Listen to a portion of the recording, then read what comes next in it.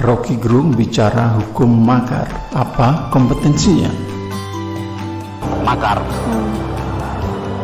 Juga itu bahasa hukum yang bisa keliru dimengerti itu. Nah tadi soal makar misalnya tuh.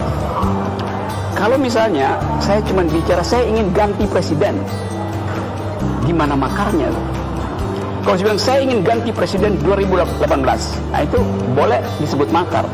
Kalau dengan mengucapkan saya mau mengganti presiden di 2018, yang saya maksud saya mau mengganti Jokowi di 2018, lalu saya kerahkan masa ke istana, saya siapkan peralatan untuk menyerbu istana, baru itu namanya makar, karena makar artinya anslag, forceful, attack.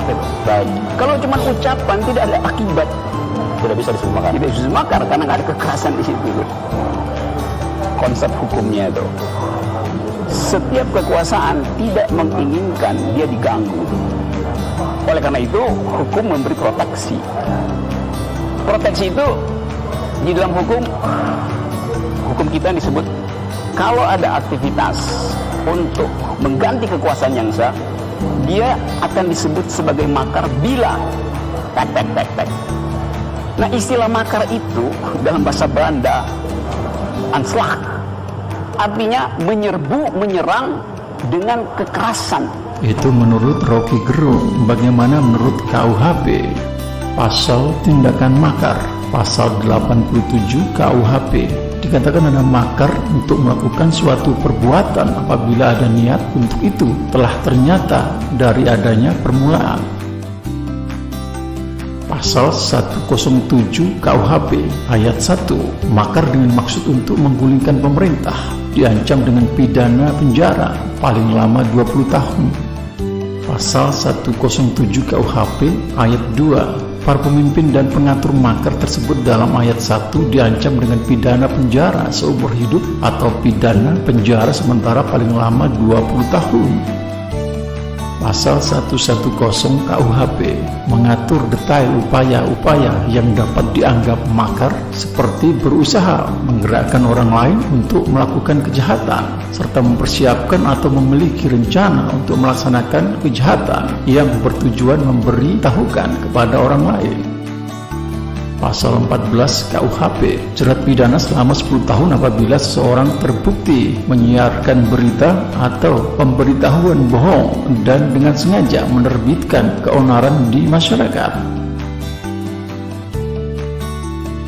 Kalau misalnya saya cuma bicara saya ingin ganti presiden, gimana makarnya? Kalau saya saya ingin ganti presiden 2018, nah itu boleh disebut makar. Kalau dengan mengucapkan saya mau mengganti presiden di 2018, yang saya maksud saya mau mengganti Jokowi di 2018, lalu saya kerahkan masa ke istana, saya siapkan peralatan untuk menyerbu istana, baru itu namanya makar, karena makar artinya anslag, forceful, attack. Gitu. Baik. Kalau cuma ucapan tidak ada akibat, tidak bisa disebut makar. Tidak bisa disebut makar karena nggak ada kekerasan di situ. Itu tadi menurut Rocky Gerung, dosen filsafat bukan ahli hukum yang bicara soal hukum. Dan berikut ini komentar Asep Iwan Iriawan, ahli hukum pidana yang punya kompetensi untuk bicara soal hukum. Bukan berpuasa itu kan ada aturannya penggantiannya. Mulai pemilu. Misalkan sekarang. Tunggu 22 Mei pengumumannya.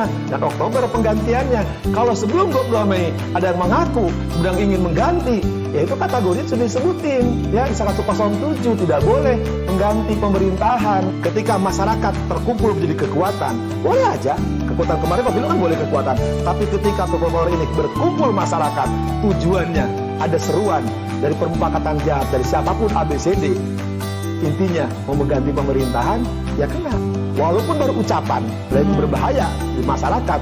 Kalau diwujudkan nanti terjadi. Walaupun nggak benar-benar niat gitu. Nah misalnya. makar itu cukup niat. Kalau nggak ada itu niat. Itu kan terjemahnya ada yang menggunakan niat ada maksud. Nah itu harus, harus ditafsirkan itu kesengajaan. Nanti kalau ya kesah baru niat belum. Lah niat aja kan tergantung uh, di bahasa agama yang kami anut ya ter, semua tergantung niatnya kan. Kalau niatnya baik dapat pahala. Niatnya jelek di dunia ya siap neraka